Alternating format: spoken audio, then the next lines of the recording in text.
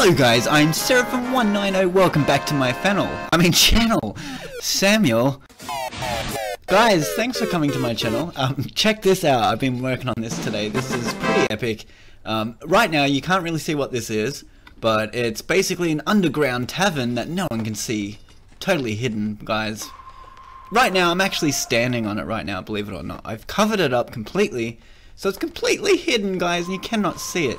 So when I put the redstone down, it opens up into a secret cavity. And here you can see I've color-coded the block, so you can see the red block is where you put the redstone. The blue block will take me down, so this is what it looks like underneath. Personally, I don't like any dead giveaways. I like to be completely hidden in the earth without anybody knowing where I am. So this is a perfect tutorial for you guys who like to play factions or survival or any type of thing like that. Um, I'm, alright, I'm pretty sure if you guys are still watching, you'd like to know what to build it with. So we need 16 pieces of redstone dust, we need about 3 comparators, and about 5 star. Look guys, look I made a mess. But basically these are the things we're gonna need, guys. I'm sorry, but we need 5, we need 5 slime blocks, and 5 sticky pistons, 2 redstone blocks, and a big gaping hole right here, guys. So just make a real big hole, real big like, right quick. Like so. Okay, so this is about as big as you want. You want three sticky pistons facing up. Very simple build, guys. So we want slime blocks, three across, and two more on top of the middle one.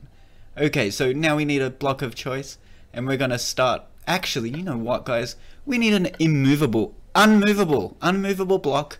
You can use an oven or whatever you want to use, but I'm going to use this obsidian because it looks good.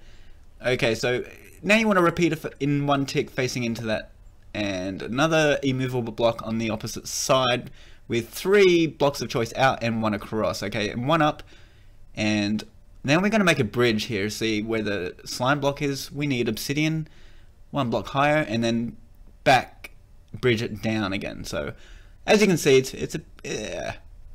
so one more block out and another block to the next one. See it's like a pattern here. So one block down like a step when you get to that last obsidian block this is where the redstone's going to go.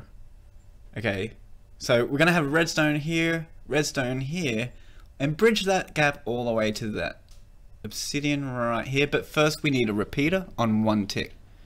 And coming out on the other end will be another repeater on one tick. And just connect that up with some more redstone. So one here, one here, and all the way down to the repeater. Which also should be on two ticks. So they're all two ticks, so you just tick them once. Get it, guys? I don't... Alright, so there we go, it's all there. Um, okay, so the next step is very simple. What we want to do is come out around here at the front and put one block of choice here, one here, and curl it around here. So we have an L shape, and we're going to get out a repeater and put it here on one tick. Two ticks, sorry. And some redstone just to connect it, those two blocks to that repeater. Now we want a block on top on the corner there, one block high, one block over, and another one over. So we've got three blocks in the air here, okay, so now all we need is to get out some more and make it four blocks to the one, see that shape, and another two here. So there we go, we've got six blocks here and one sticking out further. So in the middle you want a comparator facing that way and another comparator facing the opposite direction and then you want to connect them together using redstone dust. Just like that. This is uh, basically where the torch is going to go, we're going to test that out soon. But first what we should do is put a block up one here so it goes just before the next bridge. And put a bit of redstone on top of this block as well. Okay, that's looking pretty good. Now get, what else do we need? Okay, so we're gonna we're gonna actually get block of choice one, two, and we're trying to get a sticky piston facing down. So we have a redstone block here, and now we want a sticky piston. So get out a block of choice so you can put your sticky piston facing up right here on the corner. There we go. So break that block, and it should look just like this. Okay, this is pretty, pretty, it's moving along really well. So let's keep going, guys. We're nearly there.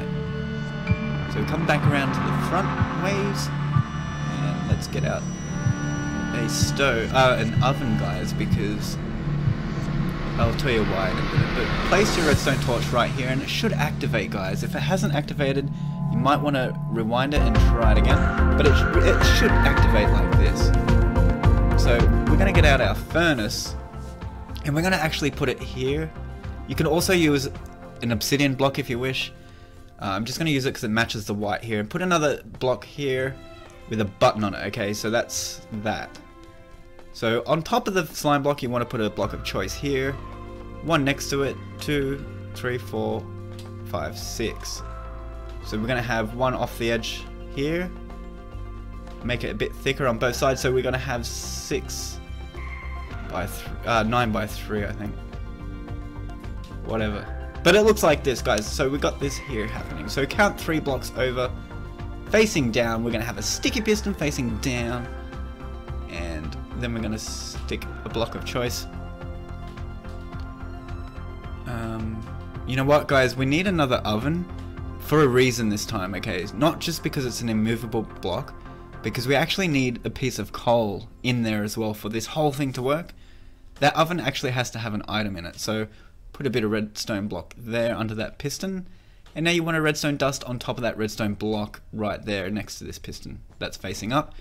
Put a block of choice next to that piston right here. And you want a comparator facing this way. Don't tick off the comparator, just leave that as is. And get another block here, here, break this one. Redstone dust right in the middle. So break the block in the middle, it should look like this.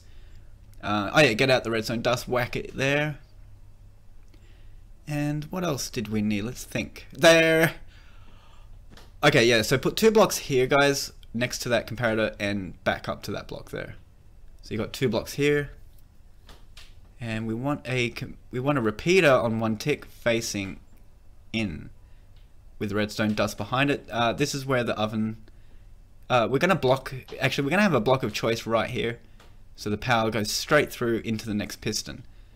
So that's why, and have that on one tick, and uh, what else? Oh yeah, whack a block right in here, guys, and you'll see it'll start to activate.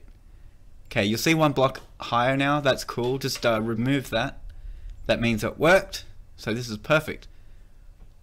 Wasn't sure if it was going to work, but it did. So put a bit of redstone dust there, and you'll come down here. And when you press this button, you can step back on there, and you'll... Ah! Okay, so you want to you want to build a wall around it and make it look awesome. So I'm going to completely hide it with grass blocks and immovable blocks. So here again you can see uh, this is where it's going to be. Put the redstone down, you go inside, come back out. Um, so yeah, let's just make it all grass so it looks completely hidden. So whack the redstone down. And here we go guys, this is freaking amazing. I love this build. Very, very cool. If you guys like this video as much as I did, please don't forget to like and subscribe and share this video with the internet. I'm on the Facebook now.